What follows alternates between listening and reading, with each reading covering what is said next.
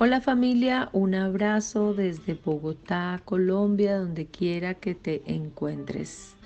Y quiero que hoy reconozcas nuevamente que eres hijo de Dios. Así que proclámalo hoy, soy hijo o hija de Dios. Juan 14, 6 dice, yo soy el camino, la verdad y la vida. Nadie viene al Padre sino por mí. ¿Quieres llegar al Padre? Acércate a Jesús. Él te va a enseñar todo acerca del Padre. Y Juan 14, 18 dice, no los dejaré huérfanos, vendré a ustedes.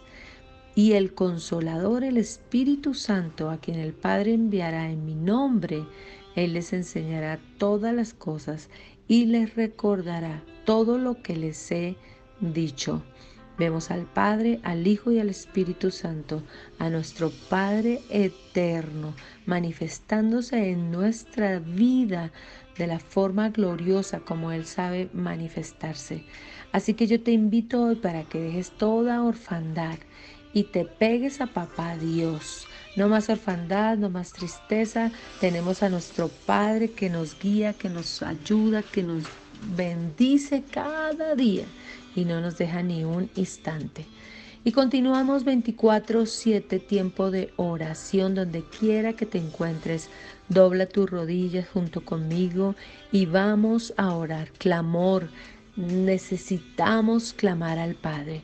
Así que oremos. Y Señor, en esta hora oramos a nuestro amado Padre Celestial por medio de Jesucristo, su Hijo, y por el poder del Espíritu Santo, quien nos guía y nos enseña todas las cosas.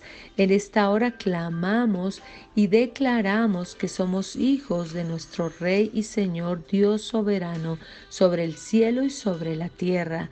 Y Señor, te pedimos en esta hora que te manifiestes en medio de nuestro clamor y oración.